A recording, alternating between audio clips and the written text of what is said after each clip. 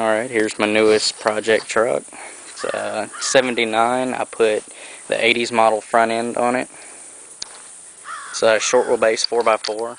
If you've seen my other videos, I had a Camaro with a 454 in it. I took it out of that and put it in this. I sold the Camaro body. I got sick of working on it.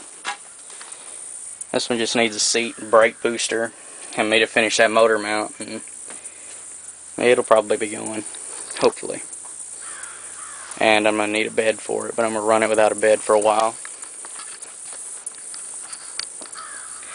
And I guess that's about it. I'll update with some more videos later. Thanks for watching.